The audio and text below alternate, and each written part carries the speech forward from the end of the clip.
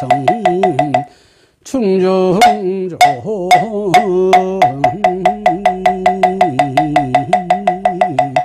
차경 심심미 대종심 가라 여하운 대종사 강의 중생설 차경 심심이 대종심 가랑 연하운 대종사 강의 중생설. 차경 심심이 대중심 가랑. 연하음 대종사 광희 중생설.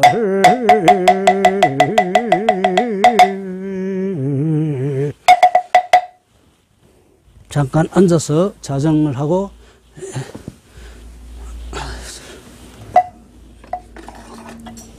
입선에 들어가겠습니다. 잠깐. 자.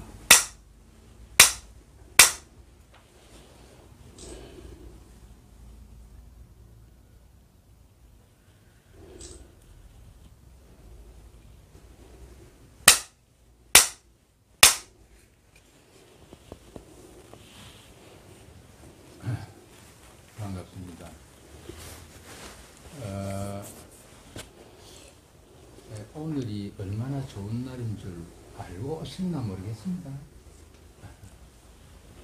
어, 산신이 하늘의 신뿐 아니고 어, 오늘은 길릴리라 하는 부처님과 또 대한민국은 이 우리 우령 스님이 천산서부터 백두산까지 몇번 수차 왕래를 했으니까 의자는 또 인도까지 인도 대륙까지 날아가서 또 많은 공덕을 짓고 또 많은 음, 세상에 해야 될 일을 또 받아왔다고 생각합니다만은 오늘이 그런 그 우리 인간에게는 유익한 제신들이 하강하는 날이라고 합니다.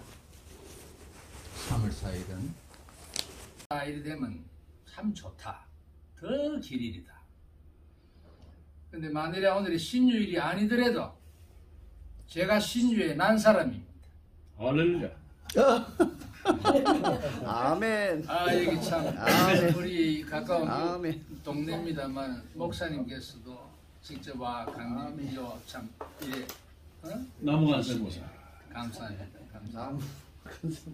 에, 특히 오늘은 두 가지 큰 뜻을 가지고 이런 모임을 가졌다고 생각합니다.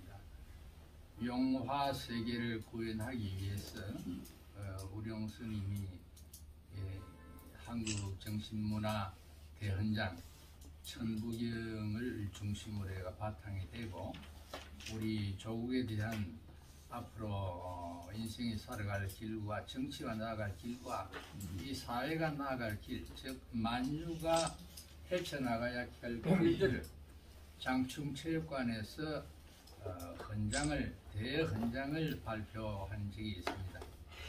그래서 그 어, 결과적으로 국익하고 맞아 들어가서 지금 현재는 그야말로 에, 코리아가 세계 만방에 이름을 떨치고 아무리 하다마는 반대로 어, 우리가 남북 통일이 되지 않은 마당에서 어, 국위를 떨친다 한들 반쪽짜리 땅 가지고 움직이는 그 꼴밖에 안 되니까 에, 빨리 통일이 됐으면 하는 큰 염원이 이것도 담겨져 있고 어, 그 헌장에는 옛날 우리 학교 다닐 때 우리의 맹세 우리는 대한민국의 아들 딸 조국과 민족을 위하여 뭔가 마음을 바치자 뭐 이런 또 국민 헌장이라든지 학교 다닐 때마다 그런 걸 해왔습니다만은 예, 국가의 미래를 내다보고 어, 장황하지만 알날이 내용이 꽉 차 있는 국민 이 대헌장을 영수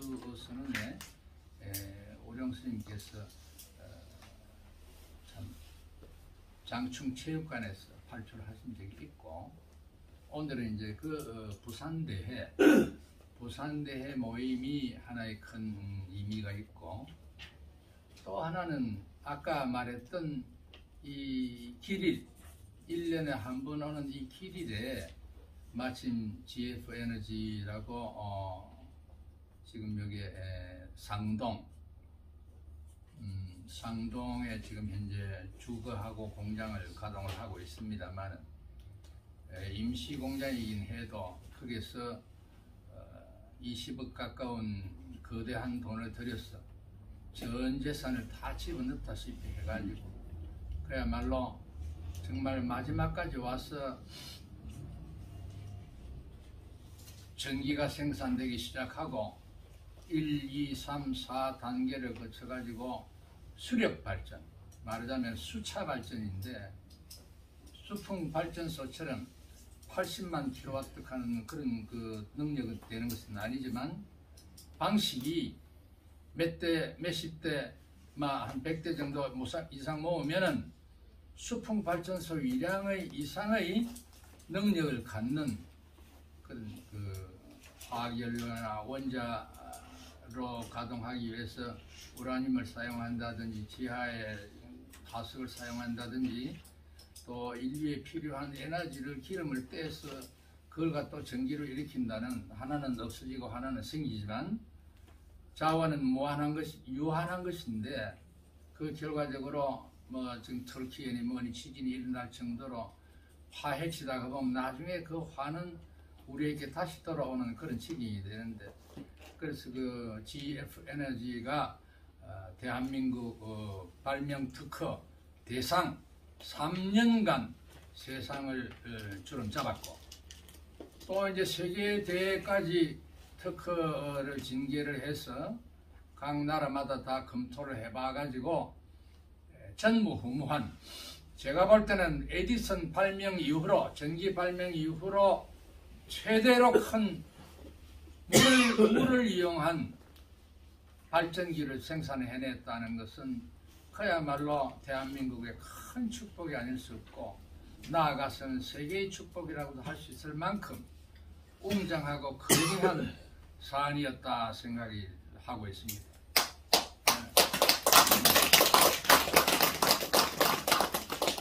아무쪼록 걱정하는 거- 하고 있는 것은 어, 우리 민족은 원체 순환과 고통을 많이 겪던 민족들이 돼서 어, 믿어주지 못하고 또 너무 가볍게 생각하고 뭐또 그렇고 그런 거 아니냐 하는 어떤 이런 생각이 주변에서 하시는 분들이 혹여 계시면은 여러분들 서슴지 않고 오늘 요 뒤에 손 회장 와 있습니다.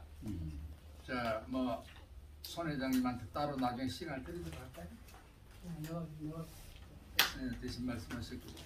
뭐 조금 더 자세한 내용은 우령 스님을 또 어, 부탁을 제가 하겠습니다 하고 어, 제 말씀은 이제 마지막으로 어, 저희는 그 소백산의 금강사에 있다가 어, 지난 동절기에 너무 어, 조금 타격을 받았어 신체적인 타격을 받아가지고 이쪽 남쪽에 예, 우령스님 덕분으로 이래 여기 와 있습니다. 조그마한 토기당이지만은 에, 웅대한 마음을 갖고 이 우주는 화음의 세계다. 모든 것은 꽃과 같다. 땅 속에 있는 미물이나 하늘을 나는 새나 하늘에 떠 있는 태양마저도 화음의 세계의 한 꽃이다. 그래서 인간도 그 꽃의 한 사람으로 한 사람의 꽃으로 그렇게 해서 이, 이 조화를 이루면서 이 인류의 세계를 살고 있는데 누나 할 너나 할 거 없고 뭐 따로 가- 생각할 거 없이 모두가 다 우리 인간이 안아줘야 할 그런 꽃의 세계이기 때문에 에, 모든 살아있는 생명, 식물, 동물 아울러서 지하에 있는 지상에 있는 모든 뭐 박테리아 하나까지도 우리가 사랑하는 마음을 가지고 이 화암 세계에 공동체를 이루고 평화롭게 살아야 한다는 것을 에, 제가 주창을 해서 여러분들의 마음속에도 태양과 같이 그런 화음의 세계에 나도 훌륭한 꽃이 되어야 하겠다는 것을 이 자리를 빌어서 명심해 주시면 감사하겠습니다. 제 본문은 간단하지만 이걸로 줄이도록 하겠습니다.